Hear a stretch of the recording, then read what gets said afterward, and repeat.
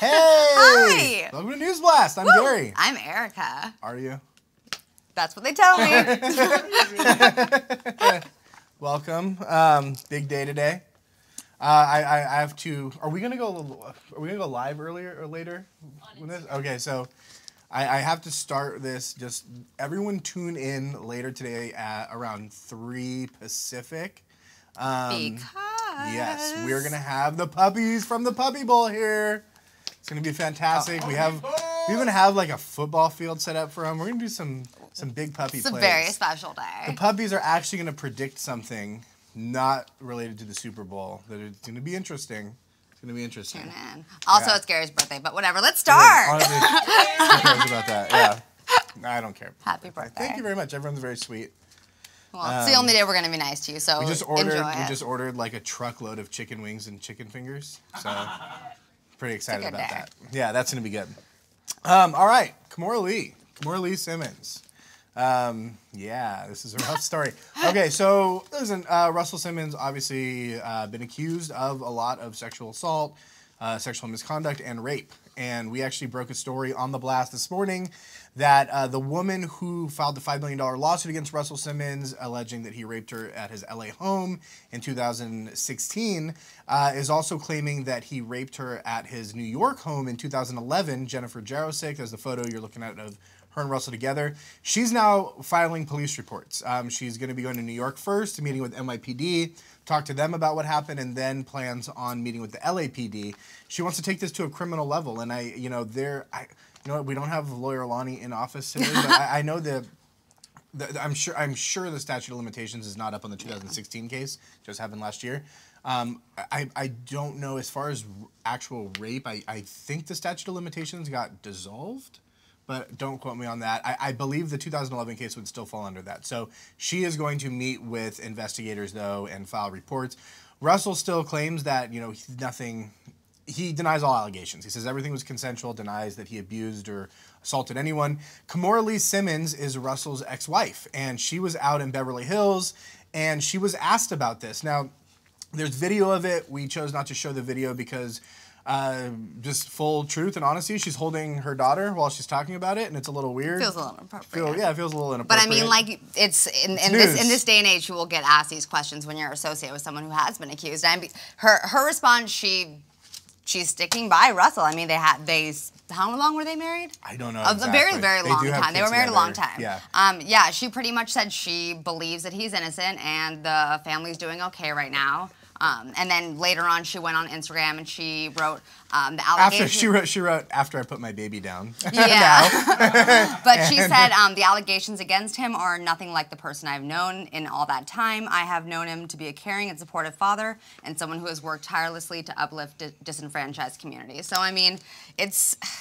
It's, it's a rough situation to be in, but She's I mean, I think she spot. handled it with grace. I mean, like, Yeah. innocent or guilty, no matter who the person is, I think if you spend decades knowing someone, you you associate them Yeah. as a certain person in a certain way. I mean, And she's not she could've- attacking the alleged victims. No, she's was- just saying she doesn't believe that that he could have done this. She she sides with him in this, and, and and all the time spent together, she's never saw anything from what these women are talking about. But obviously, does not mean that it did not happen Yeah. because these are, you know. And I think it's important that she didn't she didn't necessarily focus on that part. She she knows who Russell is because of the time she spent with him, Yeah. and it's kind of as simple as that. Yeah, interesting. Um, all right, next person. So speaking of uh, speaking of all the chicken we're about to eat, this is actually what got me in the mood to. to Is it? Is this what chicken. inspired you? This was it. Yeah, it's got me. in All, I had all sorts of crazy feelings going on with this. It was great. I, maybe we shouldn't get into all those feelings. I love Reba. Reba chicken. I mean, there's the the smoky barbecue is delicious. and they've had a lot of Colonel Sanders. Like, how many has there been by now? A lot. Yeah. Yeah. So KFC has a new Colonel Sanders. It's Reba McEntire. Ow. It's great. Yeah. So yeah, they've had this is KFC's done this now. They do celebrity colonels. Uh, yeah, Norm Macdonald, Rob Lowe, Rob Riggle. Um, uh, who's it? Conan's buddy, Andy. Uh, I forget his. God, oh man, Andy. Richter. I believe Andy Richter was. Yeah. Uh, George Hamilton. Oh yeah, extra crispy. The extra yeah. crispy. That's hilarious. Yeah. We now have The you- first female one. It's fitting for the It's times. groundbreaking. Yeah, it's- Breaking. it really is. Time's up. Time's up, man. Time's up. Time for chicken. Uh, you got to see the spot though they put on. It's pretty great. We got we got it here for you.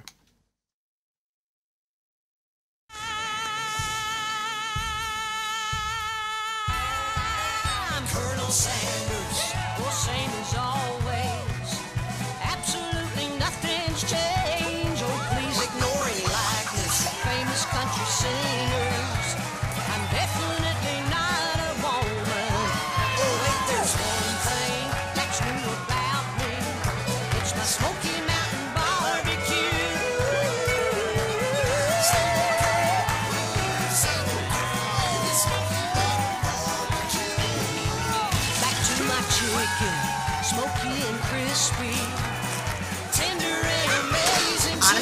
even like Reba McEntire until this morning when I saw this commercial. Fantastic. So much respect for someone who dresses up as an elderly chicken mogul. I don't so know what good. it is. I love just all the, the role reversals. You have the, the cowgirl throwing the cowboy It's through progressive the, the barn. yet delicious.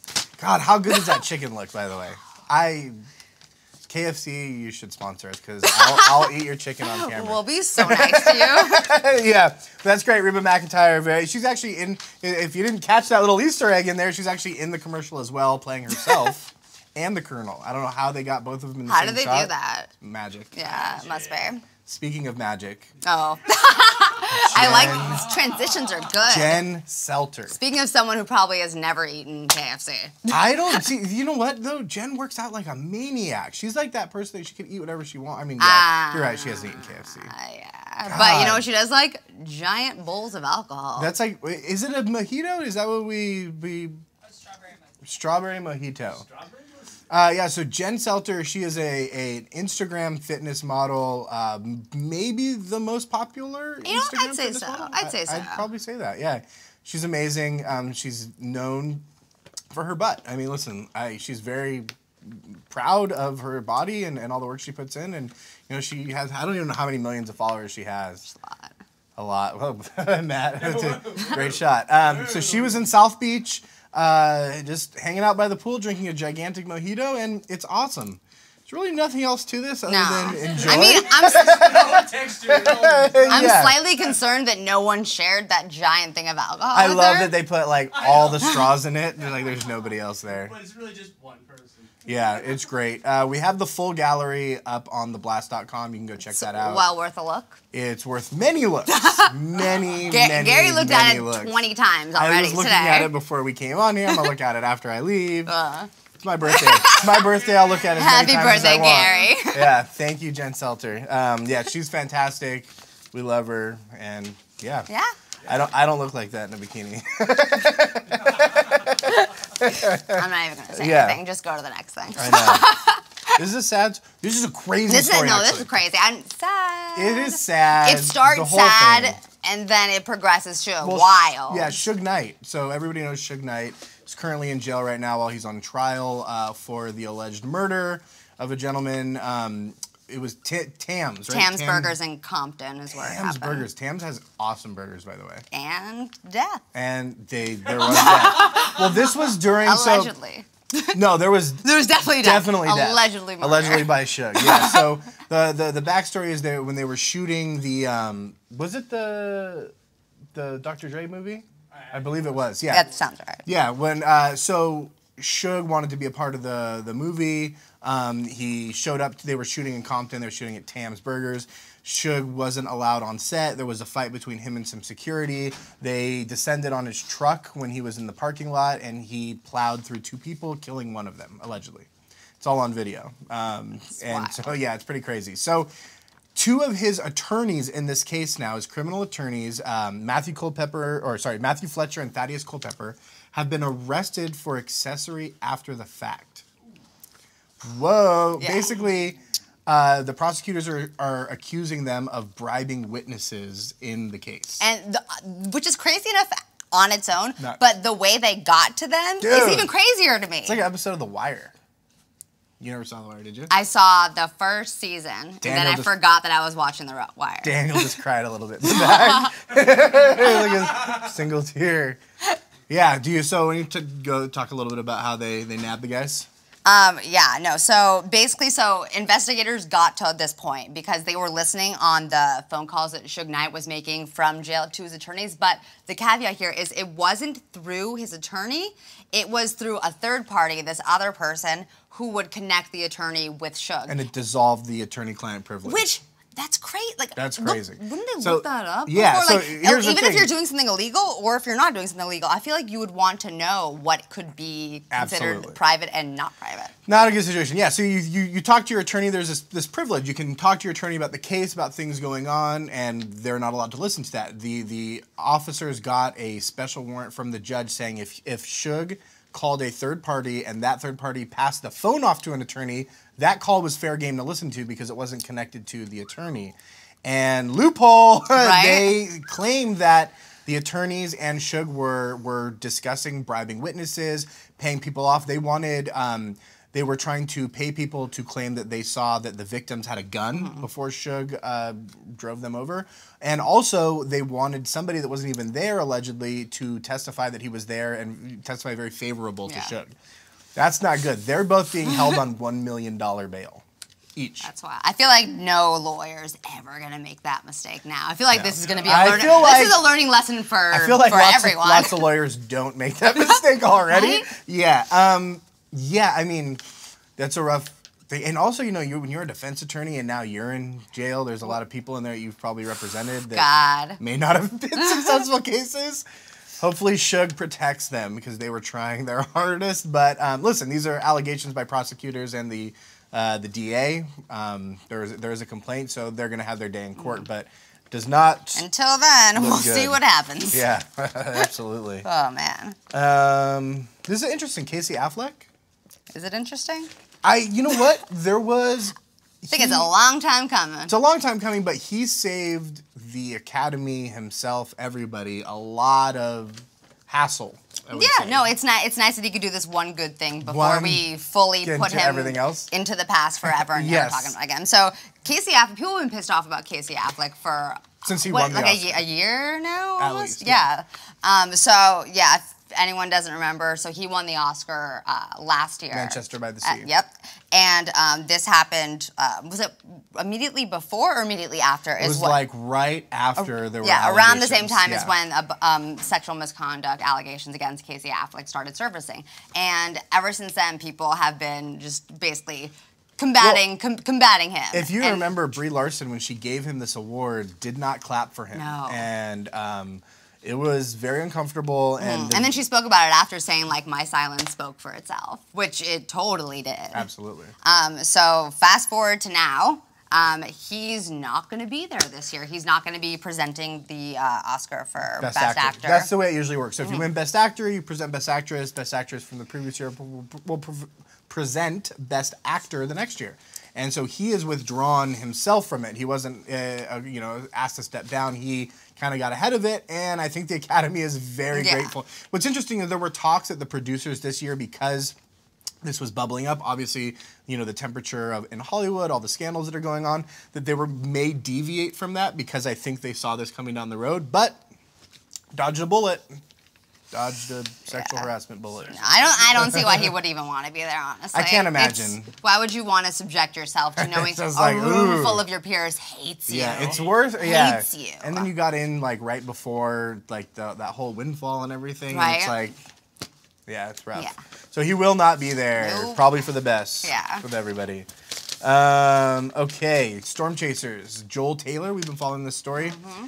Uh, we broke the story that Joel Taylor passed away on a Royal Caribbean cruise ship uh, while it, he, his body was discovered but right before it docked in Puerto Rico. He was taken off. There was an autopsy done. Um, we are now told uh, that his body has been released. It's on its way home to Elk City, Oklahoma. That is where he's from. The autopsy uh, is basically deferred. The, the cause of death has been deferred depending the, pending the toxicology, and that's what happens a lot here. There are, you know, he was on a, a cruise that where there's lots of parties going on. It was chartered by a private company. It wasn't like a it wasn't a Royal Caribbean like trip. It was like you know that you have these private event companies. They can charter cruises, and so this was a big party ship. There were lots of part. There was lots of parties going on. Lots of allegations of drug use. Now, what's interesting is actually while this uh, boat was disembarking, it was the ship. It was leaving uh, the port in Florida. Two people were arrested for drugs, and we reported that yesterday. That one was arrested with a bunch of ecstasy, and one was arrested with a bunch of ecstasy and ketamine. So, it looks like and, and and everything we're being told is this looks like it may point to drugs being involved now. You know, we still don't know what kind, and obviously, you know, we, we can't make that leap right now. It would not be ethical No. to, to start saying what drugs he may have been on or what, what may have happened. But um, that's kind of what, what we're being told is that also, first when he was at the FBI was contacted as part of a protocol. They went over there, quickly determined that it was not a violent crime, and so they passed off to the passed off to the Puerto Rico Police Department, who's actively investigating now. And so we'll be able to find out what happens. But there will be a service for him on Monday. Hopefully, the family and everyone will get some closure. Sad, the guy was 38 years old. And so yeah, we'll, we'll have to. His body is en route right now, so we'll we'll keep you posted on on what happens and what the official cause of death is with that. Sad. Did you watch Storm Chasers? I feel like you're a Storm Chaser person. I didn't. Should I now, or is it weird if I start now? No, you know, I always think about that because it's like whenever somebody like passes away, like an old musician, you're like, oh, I start listening to their music, and you're like, yeah. It just yeah, bums me out. It does bum you out, but then it's like, you know, same thing with like when Robin Williams died, it like crushed me. But like I went home and I started watching like his old movies, and like you know, it made me feel better. I think storm chasing is what Joel loved, so like if you're gonna get into it, he would want us to watch. that's what he Storm wants you to remember. Yeah, he Mrs. wants. Doubtfire got me through that. Mrs. Doubtfire. Doubtfire was great. Patch Adams. Ah, damn it, I love Robin Williams. I know, I'm gonna cry. Start crying right now. yeah, Jack. Happy I birthday. cannot get through Jack without just No, well, crying my eyes out. Yeah. Gosh. We All you, What's what's your happy segue for this one? This be? is uh, no. I, I was gonna let you take this because I know you love a good deal. I I do love a good deal, but honestly though, who doesn't love a good deal? Melissa McCarthy loves she a good deal. loves a good deal. Um, Yeah. not just a good deal, the 99 cent store. Oh Good man, she's dude. I respect anyone, especially a million, like a millionaire celebrity Yeah. who shops in the 99 cent store. Like instant 99 respect. cent store has come a long way. Like you can get really cool stuff down there. Uh, like, it Has it- I feel like it's been No. consistently awesome. It- Was no, it ever it's, not it's awesome? always great, but I'm just saying, like the level and quality of stuff now, like they have not like brand brand name, but they do pretty well with like the way they package. You'd be stuff and- surprised what like variety of items you can get Yeah. for just 99 cents. Honestly, I haven't been since I got a job. Well, dude, you gotta time go. to quit and go. Honestly, and th- you got to think about it. Like when you're Melissa McCarthy, you have all that money. You can, You can buy anything. the entire store. She could buy at least probably like what, like six franchises? at least. Yeah. yeah. That is pretty cool. Yeah. But good for her. Uh, keeping it real. Respect. Melissa McCarthy gets the Keeping It Real Award of the Week. I'm glad we're giving out that award. Didn't, didn't know that was one of our awards. Just, we just started making Yeah, your awards. your plaque will come in the mail within two weeks. Yes. We're going to order it from the 99 cent store. It'll be, it'll be made of balsa wood. It's not wood. gonna be very good. yeah. It'll break when you open it out of the tin package. foil and balsa wood. yeah. I think that's about it. Um, Um, but yeah, went through everything. do not forget to check out our Instagram because we're both gonna be crying and covered in puppies. It's gonna be adorable. and that's worth view. Yeah, Animal Planet is bringing their puppy bowl uh, puppies in. We are gonna have them. And we can say it now. We're gonna have them. Uh, th- these puppies are fortune tellers. I don't know if anybody told you that. And uh, we're gonna have them pick some Grammy winners. It's gonna be the best Grammys day are. of our lives. I mean, these dogs know who's gonna win. yeah. Who else do you want your Grammy predictions from? A human? Yes. Supercomputer? No. Yeah. Yeah. No, you're kidding me. No. You don't even have to watch the Grammys. I take we're all gonna- my advice from puppies. Yeah, we're gonna tell you who's gonna win this afternoon.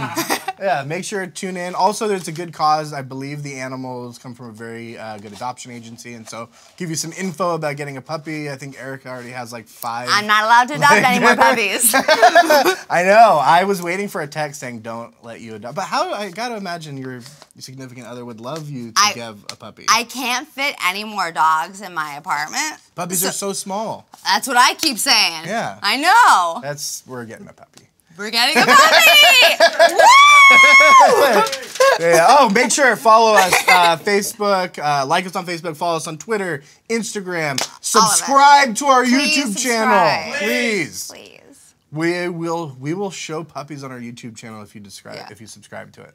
If not, we'll probably put them up there too. But we'd really appreciate if you. And subscribe. if you don't, we're gonna hurt the puppies. to be honest, I mean, they're gonna go up, but we'd really like you to subscribe. Um, and follow us on Apple News and keep checking the site, theblast.com. Uh, we're gonna put the best stuff up for you to check out and puppies this afternoon. Yeah. See Bye. ya.